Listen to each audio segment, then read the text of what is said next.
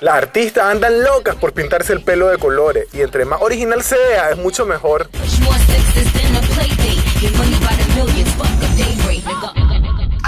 Pero no se necesita ser famosa para hacer esto. Mi amiga Anielka desde hace rato quiere hacerse mechones de colores y hoy por fin va a lograrlo. ¿Estás lista? Así es. Dale, pues vamos.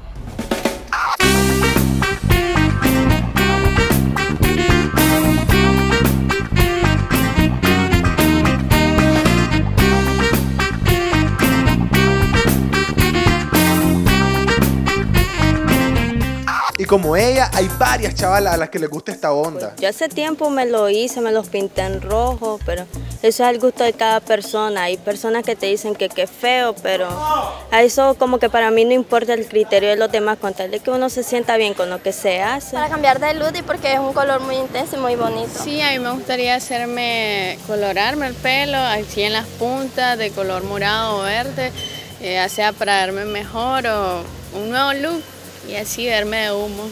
Mejor volvamos con la Nielka para ver cómo le va quedando el pelo. Estoy súper emocionada, súper contenta porque por fin me voy a hacer los mechones de colores que tanto quería. Hasta que por fin mi mamá me dejó hacérmelo, así que vamos a ver cómo me quedan.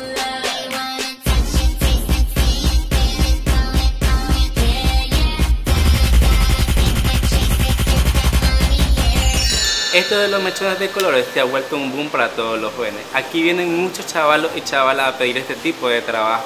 Como podemos observar, ayer procedimos decolorando el cabello y después aplicamos un color fantasía. Y el resultado es esta bella chica que tiene sus listones de colores. Esto de los mechones de colores es una onda muy cool. Y si aún no se han decidido, siempre hay otras alternativas, como spray de colores o pelucas muy locas que pueden encontrar en varios lugares. Y después de verlo bien que quedó ayer la Nielka, me terminó convenciendo de pintarme yo también el pelo. ¿Qué tal?